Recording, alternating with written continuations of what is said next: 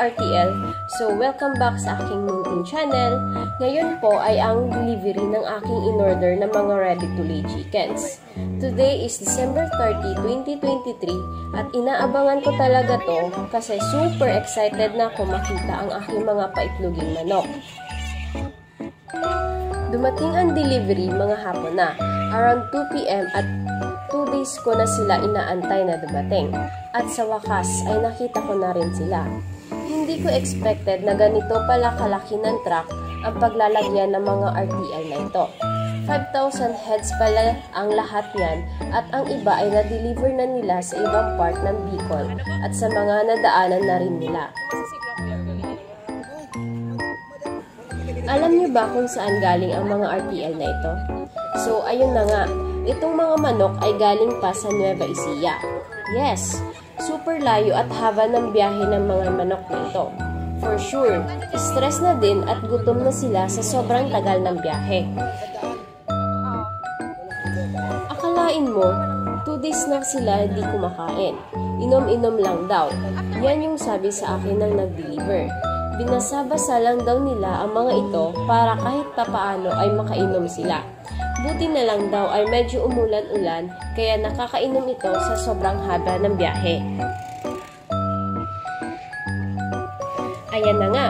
So dahil hindi pwede makapasok ang truck dahil wala itong mabakingan at sa laki at taas niya ay baka may matamaan ito na kuryente.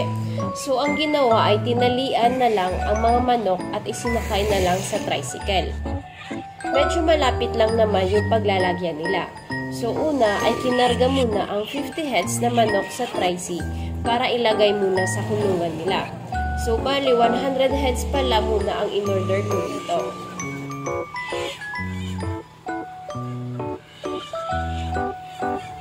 Habang nagaantay na makabalik yung tricy, eh nagtatali ulit ng 50 heads na manok si kuya.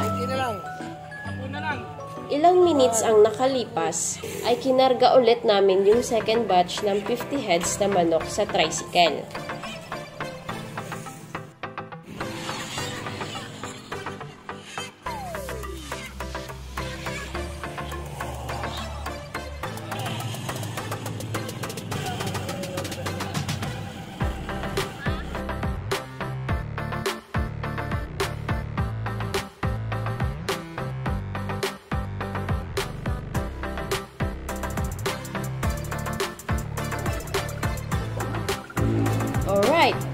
Matapos na namin makarga lahat, eh dahan-dahan na rin namin sila linagay sa battery cage. Doble ingat nga ako rito at baka malumpo sila. So buti naman ay okay pa naman lahat at ramdam ko ang pagod nila sa biyahe sa sobrang tagal.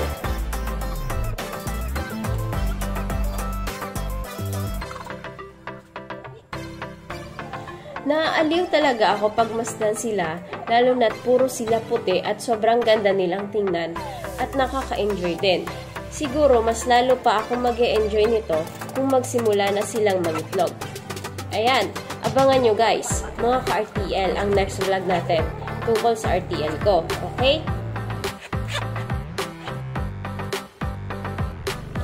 Ang breed pala nila ay decalb white and nasa 16 weeks na daw sila. So, siguro pagdating ng 18 to 19 weeks, ay pwede na sila mag-egg drop. Hmm, I'm so excited na mag-harvest ng mga itlog. Siguro, araw-araw na ako niyan nakasilog.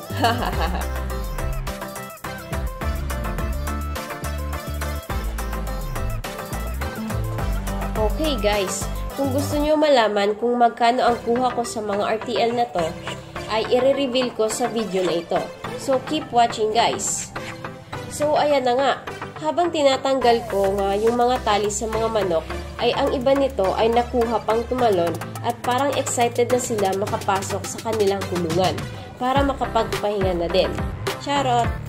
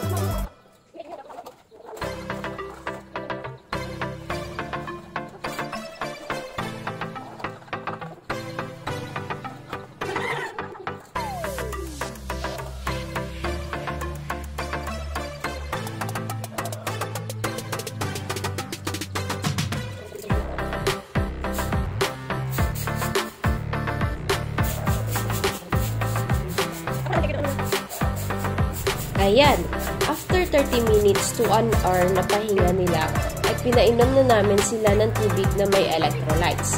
At binigyan na rin namin ng grower feeds muna. So, one week daw muna pakainin ito ng grower feeds and after a week ay haluan na ito. Konting tips lang sa mga gustong mag-business ng ganito. Eh, siguraduhin lang na legit ang pag-orderan ninyo. Much better na COD po yung delivery para iwas scam na din. Hmm, alam mo na, mahirap na sa panahon ngayon. Ang dami nang kumakalat na ganyan. So, i-reveal ko na kung magkano yung kuha ko dito sa RTL. Ito pala ay nagkakahalagang 415 pesos per head. So, bali 100 heads ang in-order ko, kaya ang total na binayaran ko is 41,500 pesos. COD po yan and free delivery na din. Wala po akong down payment dito para iwas na din sa mga scammer. Alright, yan na muna ang tips ko sa inyo guys. Kaya sa mga nanonood po ng video ko, please like and subscribe po sa aking channel para lagi po kayong updated sa aking mga bagong vlogs. Mapamanok man or about sa pagsusurvey. Yun lang guys. See you in my next vlog. Bye-bye!